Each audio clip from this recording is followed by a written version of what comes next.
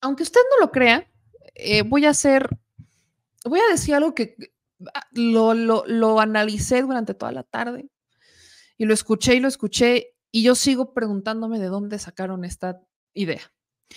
Ahora resulta, resalta y acontece que hay un cerco mediático en contra de Xochitl Galvez. Señor productor, ¿tú ves un cerco mediático en contra de Xochitl Galvez? En contra. Sí, sí, sí. Hay un intento de censura en contra de Xochitl Galvez. ¿Quién lo dice? Más de uno. Quiero que escuchen a Héctor de Mauleón, no es cierto, Aguilar Camín, por favor. Aguilar Camín. Quiero que, quiero que ustedes escuchen. Espérense, pero es que escuchen, es que tengo que describir lo que van a escuchar. Aguilar Camín, en un programa de Foro TV que pertenece a Televisa, diciendo que hay un cerco mediático en contra de Xochitl Gálvez. Esto no es broma. Es neta. Fenómeno que la ha acompañado todo el camino, que es el cerco informativo que tiene. Que ayer, hoy sucedió. Hoy, eh, Tú, tú lees el discurso, ves lo que sucedió y es de domingo para lunes, es una obvia nota de primera plana, de ocho columnas. Solamente el Reforma. Ve cuántos periódicos la traen. De los principales, yo te lo digo, yo lo vi.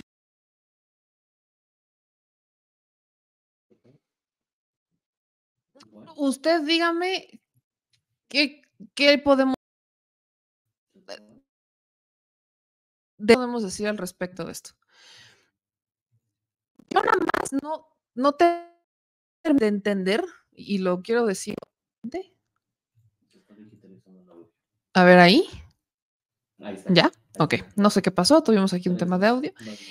Yo honestamente no, no, sé, no sé de dónde lo saca, pero Héctor, eh, Aguilar Camín, perdón, con Leo Zuckerman, en el programa Es la hora de opinar de Foro TV, se atrevió a decir que hay un cerco mediático en contra de Xochitl Galvez. Lo que hay que ver. Lo que hay, de verdad, lo que hay que ver, lo que hay que escuchar. En Televisa. En Televisa esto para mí es, esto es inaudito, lo que estoy viendo es inaudito, lo que escucho es inaudito, simplemente lo veo y no me lo termino de creer. Un cerco mediático en contra de Xochitl Galvez, cuando a cada rato se habla de la señora. ¿Qué es lo que quería eh, Aguilar Camín que se dijera respecto a Xochitl? Que había abarrotado la arena Ciudad de México en su evento ¿Y cómo es? Es que es, es que cómo, a ver, ¿cómo es posible que no se atrevan los medios de comunicación a decir que Xochitl Galvez llenó un evento? Vean lo que tanto le importa, de verdad, lo que tanto, tanto le está importando a estos personajes. No es que Xochitl Galvez hiciera una gran propuesta, no es que Xochitl Galvez eh, fuera, no sé, reconocida en, no, no, sé, no me puedo imaginar. No es porque el pueblo de México fuera a decir que, que Xochitl Galvez es, eh, pues es su representante y que se sienten súper orgullosos de ella, no, sino que Xochitl Galvez tiene un cerco mediático y no es el único que lo está diciendo. Ya hemos escuchado a ciertos, a ciertos personajes decir que hay un cerco mediático en contra de Xochitl Galvez. Xochitl Galvez, la candidata de Claudio X González. Xochitl Gálvez, la candidata del PRI, del PAN y del PRD. Xochitl Gálvez ha sido tendencia en redes sociales. Xochitl Gálvez es la candidata que más le invierte a sus redes sociales. Xochitl Gálvez, a mí me vienen a reclamar por hablar de Xochitl Gálvez porque dicen ya no le des publicidad. Xochitl Gálvez, neta hay un cerco mediático en contra de Xochitl Gálvez o sea, es que es un serio. Ahora, sale con Ciro Gómez Leiva, Xochitl Gálvez, con Joaquín López Dóriga, en el Reforma, en Televisa o en N+, la entrevistan a cada rato. ¿En dónde está el cerco mediático? ¿Qué es lo que realmente está pasando? que su candidata solamente pega cuando se burlan de ella. Ese es el problema. Que las notas que salen de Xochitl Galvez, pues no, no son notas positivas. No todas. ¿Por qué no todas son positivas? Uno, estamos en campaña. Y dos, porque ¿a qué es lo que se le critica a Xochitl Galvez? El prompter. Y que ahora está estancada en el juego de las retas. Porque cada que sale en un discurso, alguien, no sé quién le escribe los, los discursos, no sé si son sus hijos, no sé si es Max Cortázar, no sé si es Arne, no sé quién sea el que le escriba los discursos a Xochitl Galvez, pero el que le está escribiendo los discursos tiene un serio conflicto con los retos. Y es una estrategia añeja también, porque ya es una estrategia que conocemos de los periodistas y de los panistas de te reto a debatir mañana en mi casa y a ver si llegas, ¿eh?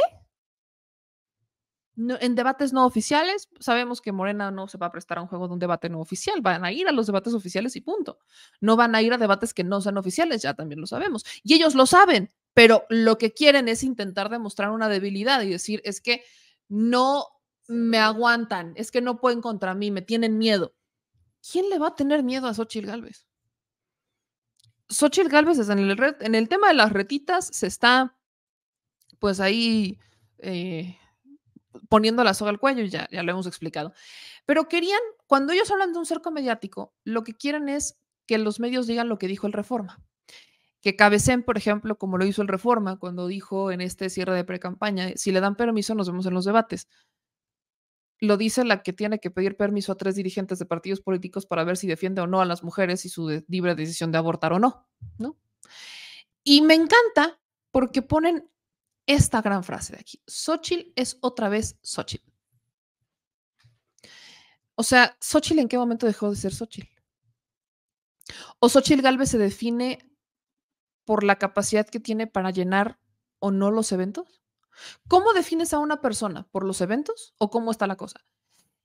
Cuando Aguilar Camín o cuando todos estos panistas simpatizantes de Xochitl Gálvez en redes sociales dicen que hay un cerco mediático en contra de Xochitl Gálvez, no, no están hablando de que los medios no están hablando de Xochitl, están diciendo que no están diciendo lo que ellos quieren que digan de Xochitl Gálvez.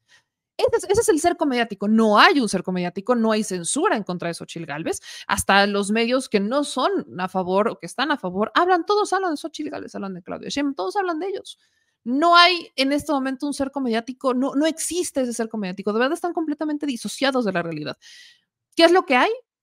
Que su candidata normalmente termina siendo motivo de críticas o motivo de burlas, o su candidata termina siendo motivo de cuestionamientos, o su candidata termina teniendo que ser nota porque ahora tiene que responder la tontería que hizo Marco Cortés, ahora tiene que dar la cara a ella por la tontería que hizo Chucho Zambrano, ahora, o sea, las notas que ellos quieren es que sean puras notas positivas a favor de Xochitl Galvez. Eso es lo que quieren.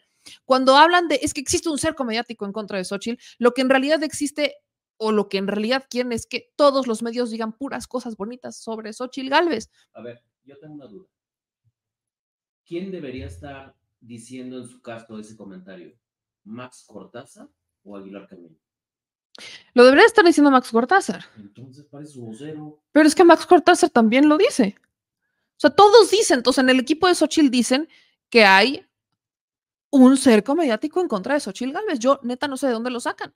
Hoy te metes a Google, vamos a hacer el ejercicio para ver cuál es el cerco mediático de Xochitl Galvez. Vamos a hacer el, simple ejercicio llano y simple para ver qué es lo que pasa, qué es lo que dicen los medios digitales, ¿no? Así nada más. Vamos a meterle aquí Xochitl Galvez. Aquí tan tan, sencillito. ¿Qué es lo que dicen los medios sobre Xochitl Galvez? García Luna, lo voy a poner en grande. García Luna pone a pelear a Xochitl y a Claudia Sheinbaum. Xochitl reta a Sheinbaum a un debate.